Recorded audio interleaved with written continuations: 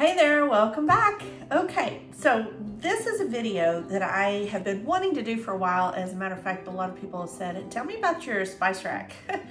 and a funny story about that. So when we don't have a lot of people come here much because we live kind of out in the country and whenever we have someone come over like uh, a construction worker or um, I don't know, one of my husband's friends and they come in and they're doing something with the tractor or they're doing something like that. And they come in to use the restroom or something and they pass by here and they always say, they always make a comment and it's always guys. And so I'm always amazed how the guys are the ones that notice it. But they'll say something like, um, do you actually use that? Like, is that something that you actually use or is that for decoration? That's in summary, that's summarizing basically what they say. And so, but yeah, so I thought I would show you and I was, um, my sister was asking me about it when she was here. And I said, yeah, I mean, it's real easy. This is just a $9 Ikea shelf. And she said, well, how are they staggered up like that? So I thought I would just break it down and show you what's going on there.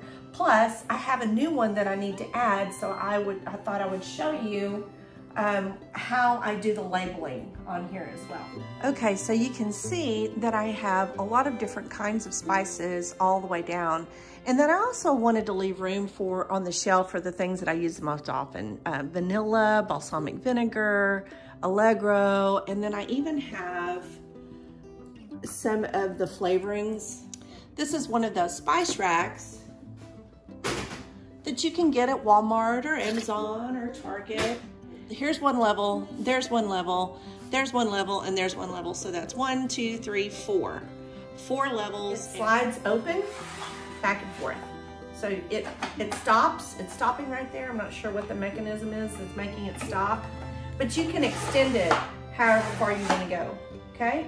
So I have it where I want it. Okay, so um, the thing about the jars that I wanted to mention is I like the ones that are completely smooth. You'll have some sort of embossed glass on most jars, but they do sell them where they're just completely smooth. I think Anchor Hocking makes one. This one is a Kerr jar, you have ball jars, but I like to get the ones that are smooth. It doesn't matter to me which one I use as long as they're smooth. Um, so here is, this is a Kerr jar. So you can see it has some embossed raised lettering on there. Well, I wanna make sure that there's at least some place where I can put a label, okay? This is a ball jar and you can see it says ball right there, which is fine because I can still put a label right there, but the back side is completely smooth, okay? But what you don't wanna use is something like this. It's, it's completely quilted. There's not much room. There's a little bit of a space that's used for their proprietary label, I think, that's smooth right there. So I wanted the labels to look all very uniform and similar, okay? So what I did was I went down to Hobby Lobby and I got some stickers that are all the same. So here's the stickers that I found. I made sure that I got extras so because I knew I wanted to add some things as I thought about them. But here's the other thing that I did. I went ahead and I found these. Let me put something white behind there so you can see. It has cinnamon, rosemary, mustard, parsley, cloves, pepper, cilantro, dill, salt, and a whole bunch of other ones. Cacao, chili, Cajun, barbecue. So if you make your own barbecue, or you have your favorite barbecue, then you can just uh, empty it and put it in one of these jars. Okay. These labels here and I have my little cheat labels where I don't have to write, which, you know, if you're like me, I'm one of those people that does not like the look of my own handwriting. So I'm just gonna peel that sticker off and I'm just going to put it on, try to center it as much as possible. I'm just gonna put it right there. Now I have my lemon sticker. So now I have my jar and I'm going to make sure that I'm putting it on the part where there's no writing, there's no embossing. And I'm just gonna try to get that as centered as possible. And I'm gonna put it right there. Now I have a lemon jar I'm still waiting for these, these lemon peels to dry out more. And then whenever they do, I'm gonna use this jar. But for right now, I'm just gonna set this one aside. Now, I do have some orange zest that I've already made, but I want one that says orange. Well, I don't have one of these. I don't have a sticker here that says orange. So I'm gonna have to make my own, which I know, again, if you're like anything like me, I do not like the look of my own handwriting, but look at these at, as the whole, it's really not that evident. I mean, I have to give myself a little bit of grace. Like I know that I wrote that one that says cream of tartar and it's not the best handwriting, but I just say this to give you some confidence to do it yourself.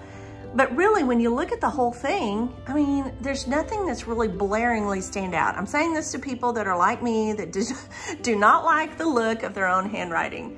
There's fajita, there's crushed red pepper flakes. See, that, that one you can tell was the sticker. And then I've got um, baking soda, baking powder. Uh, let's see. See, I have to look for it. That one's filet. That one's seasoned salt. That one's sea salt. So yes, you can tell, but on the whole, nobody has looked at those and said, oh my gosh, you can really see there's a big difference between the, the stickers and your handwriting. Nannette, your handwriting is gross. It's terrible. It's it's just, I can't believe you even did that. No, that's never happened. And when I look at it, because I'm my own worst critic, right? When I look at it, I don't even say that. I'm just really glad that it's really accessible because this is my island. This is where I roll out my dough. This is where I put my, my recipes together. This is where I do everything. All I have to do is turn around and reach for something. Baking powder, baking soda, cumin, um, taco seasoning, whatever it is. I have it right here. Now, I wanna say one more thing. Yes, I know that spices are better kept in the cabinet.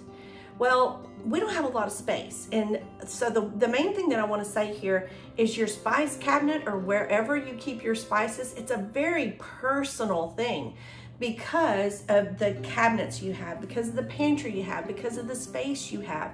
And it really depends, I think, too, on how serious a cook you are. Because if you're if you notice you go into a commercial kitchen, they don't keep their spices in a pantry somewhere in the dark. Yes, light is not your friend when it comes to herbs and spices.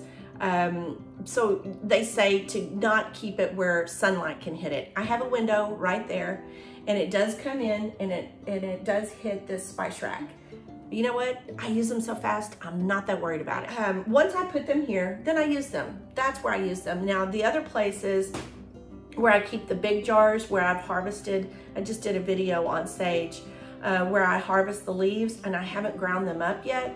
I do keep those in a dark, safe place. Like they're, they're not, the light is not hitting them. So, okay, that being said, the, the spice cabinet is such a personal space. And I wanted to tell you, one of the mistakes I made is I got these jars because that's what they had available. This is a half pint size. You can get a quarter pint size and you can see the difference. So it depends on how much you actually use them. I'm a half pint kind of girl. you can use them in quart sizes if you're a professional chef. I'm not a professional chef.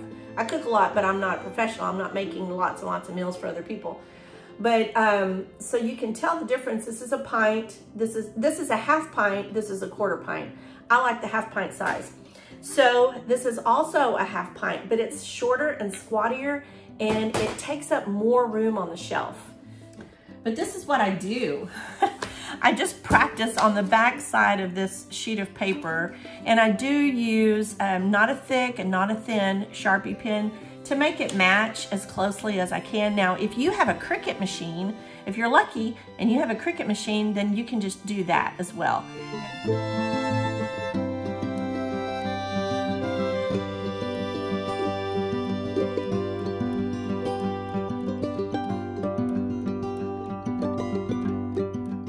Make sure that you don't rub your labels on right when the ink is really wet because depending on the type of pen, I've done this before, ask me how I know, um, but I've done this before and it will smear okay? If you're using a pen, just be careful and know that it needs to dry out a little bit. So now I have my orange peel. I'm just gonna, I, I didn't put orange peel. Um, I just put orange because I know what that is. Salt. Now, here's the other thing that I wanted to say. Don't feel guilty if you pour uh, another container, like one of your little homemade spice jars, into one of these. I did not grow this. I did not grow my own sea salt, my pink Himalayan sea salt. I don't live in the Himalayas. um, I did not, this is not my mustard seed that I grew. This is not my turmeric that I grew, but this is my oregano that I grew. Okay, so why did I even do this to begin with? Why not just use the bottles that come from the store? But there's no way that this is getting in there. Now, some things, and this was all born out of necessity, some things, obviously, you can just pour it into your tablespoon, but some things, like cream of tartar, I can't, especially if it comes in one of those little bitty shaker jars. So one of these little jars like this, I it's really hard to get just a quarter teaspoon because it has this little lid on it. And I could take the lid off and I could do it that way. But a lot of times it's just, I don't know, it's just, it's hard. it was just hard, it was difficult. So I wanted something that I could put a tablespoon in. The other reason is because I wanted it to be handy. If it's handy, I wanted it to be uniform and I hardly, if I were buying spices, sometimes I buy them at my grocery store. Sometimes we buy them maybe at Costco. Sometimes we get them at a farmer's market. Sometimes I'm growing my own and I need something to put my stuff in.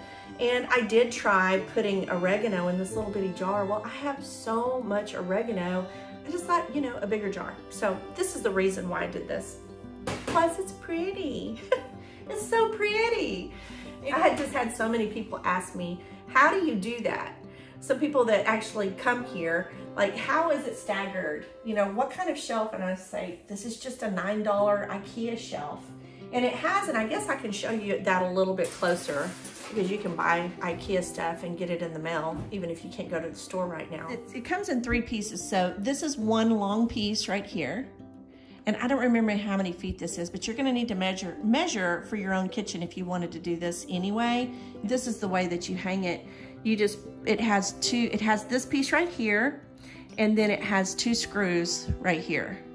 And then you slide this piece in here, and then you uh, put the other piece on right here, and you make sure it's level, and then you screw it in. And this is a two-person job for sure. This is definitely a more than one person job just because somebody needs to hold it up and make sure it's level and somebody needs to screw in the other side. my, my sister-in-law and my husband, we all kind of put all this together. So anyway, that's how I do my spices and I love it.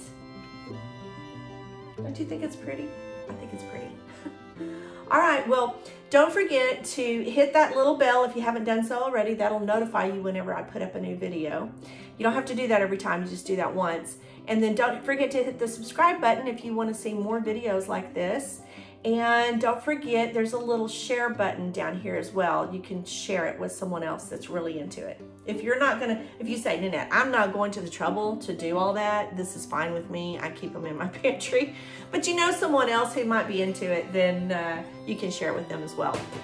All right, well, that'll do it for this one. Until next time, y'all stay safe out there. Bye for now.